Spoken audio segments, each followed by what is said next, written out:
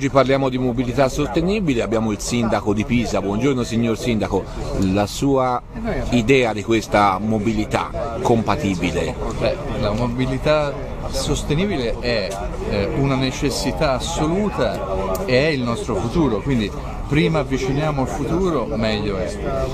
È una necessità perché c'è uno spreco energetico, eh, nel senso proprio de, dell'entropia che si genera, eh, uno spreco di risorse che non possiamo più permetterci e buona parte dello spreco sta nella quotidianità dei comportamenti e eh, le città e i sistemi urbani sono gran parte eh, di un consumo esagerato ormai fuori dalla logica perché abbiamo tecnologie come si dimostra in questo caso che possono, scusate, possono davvero cambiare eh, i modelli di uso eh, in questo caso diciamo eh, per lo spostamento, per il lavoro, per lo svago eh, e quindi dobbiamo eh, avere città che sono laboratori di innovazione, eh, laboratori incrementali, quindi non più fare solo sperimentazioni, ma rinnovare pezzo per pezzo proprio il modo d'essere delle città. E eh, io vedo che ci sono avanzamenti tecnologici molto molto interessanti e quindi il salto di qualità è alla nostra portata.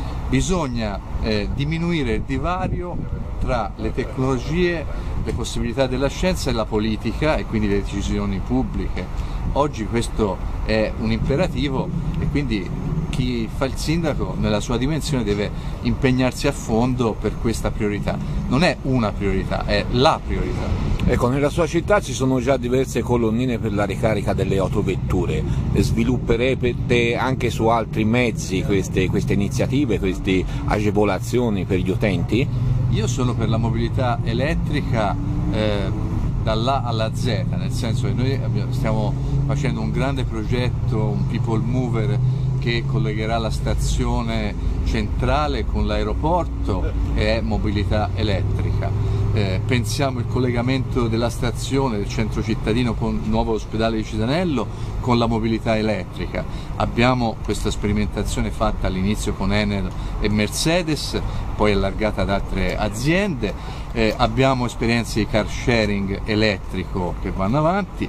È chiaro che più i mezzi saranno eh, efficienti e efficaci allo scopo, eh, auto elettriche, city car, eh, motori, ciclomotori elettrici, biciclette elettriche come nel caso che qui vediamo, più il sistema diventerà completo, eh, energicamente conveniente e economicamente assolutamente conveniente per le famiglie, per i cittadini, per i produttori. Ecco, è stato presentato in questi giorni il raddoppio della ferrovia eh, Firenze-Viareggio. Ci saranno anche dei miglioramenti per eh, il traffico ferroviario verso Pisa?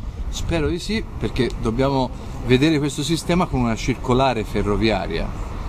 Noi eh, fra Firenze, Pisa, Lucca, l'area costiera, Livorno, abbiamo la vera area metropolitana toscana di livello europeo abbiamo fortune impareggiabili perché siamo eh, detentori di un patrimonio economico, eh, ambientale, turistico, culturale eccezionale, quindi bisogna essere solo bravi a fare gli investimenti giusti e a valorizzare questo patrimonio, ecco, bisogna crederci e diventare l'esempio di un'Italia che si risolleva e diventa davvero prima eh, nel creare una crescita sostenibile che dà lavoro e che dà tante soddisfazioni. Grazie signor Sindaco, Grazie buongiorno.